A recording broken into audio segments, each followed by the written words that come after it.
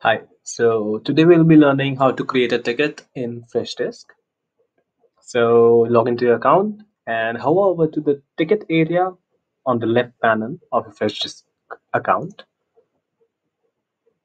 Now on the top right over here, you can see a new button. You click on it and click on new ticket. Now select a contact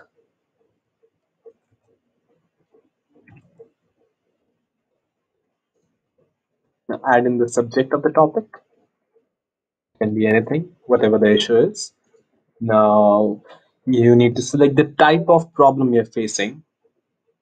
Now this can be anything from the drop-down menu. Select the status of the problem. Let's say pending in this case. Select the priority of the issue, low, medium, high, and urgent. Now assign it to an agent.